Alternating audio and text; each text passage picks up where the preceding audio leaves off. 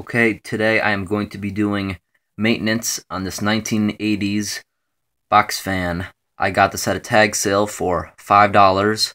This fan, I've been using it for the last six months. I, I've been running it when I sleep, but lately, if you put it on low, it will not turn because it is in need of being oiled. It only worked on high, so, so now we're going to see what happens. Right now, I'm going to put it on low.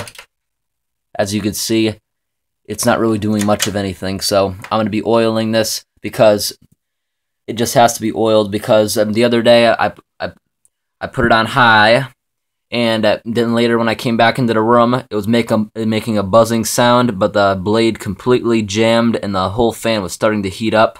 So I could see that was a hazard. So today I'm going to be oiling it. Okay, right now I'm on the back of the box fan on this type of fan, it does have an oil port in back of this, but in order to put oil into this part of the motor, you have to use a wrench and disconnect this completely. But you have to be careful not to bend any of the wires, making a fire hazard where they could heat up.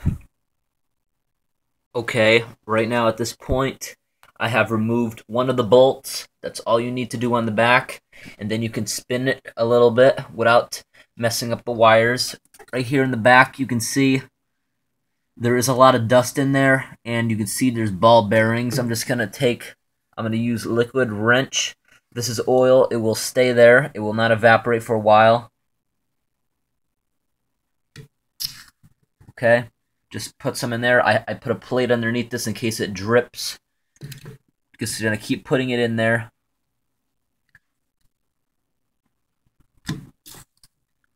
This fan probably has never been oiled before. This is an again, it's a 1980s fan. I'm gonna spray this a few more times, and then I'm gonna put it back together. And then on the other side, I'm gonna oil right behind the blade.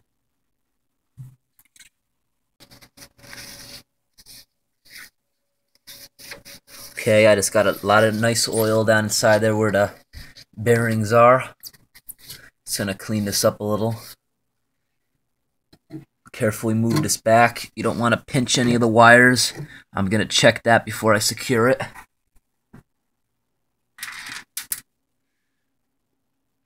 See the wires and make sure those are secured.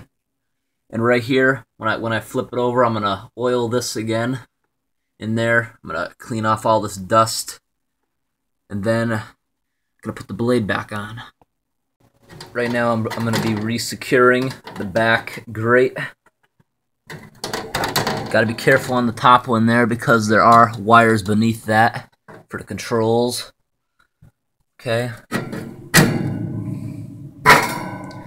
And these uh, on your fan, if it is a little bit loose in some corners, from the other side, when the other side's unscrewed, you can just bend back beneath there. Okay.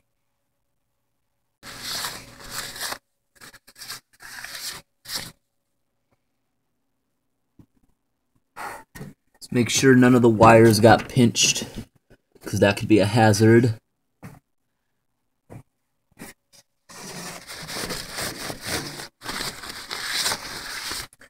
And right here, I'm going to clean the back with oil.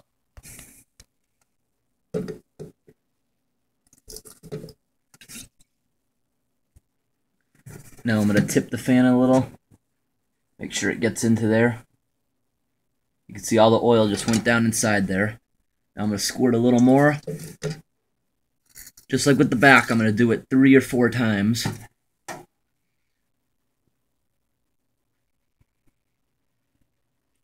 Okay. Just going to do it one more time here.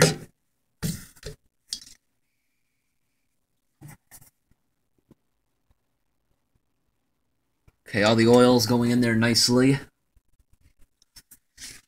wipe off all the extra.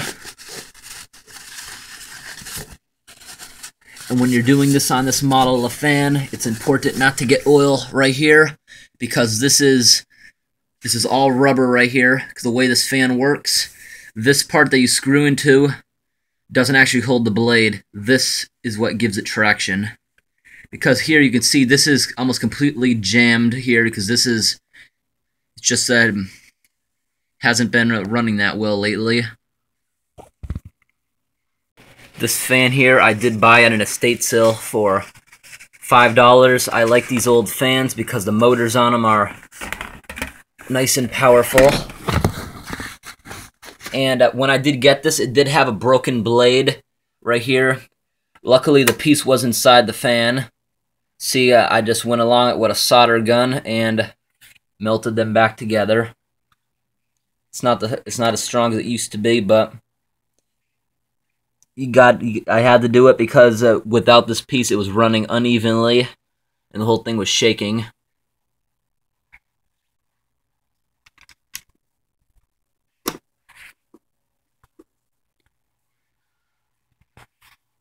Okay, the blade is back on right now, and and now you can actually turn it. Before, it was difficult to even move the blade. Now I'm going to screw the front of it on. Okay, the front is on. It does have a few broken spots. I'm going to go around and screw in all of them. And then we're going to try this out. Okay, right now the, the fan is completely back together. We're going to see how this works. I'm going to start it off on low. See, the fan started moving, and I just put it over onto low. Be before, the fan was so jammed that if you put it on low, it wouldn't even turn. It, it wasn't enough power. You had to put it on high to actually get it to start moving. Thanks for watching. This fan works great now and it also doesn't make a screeching noise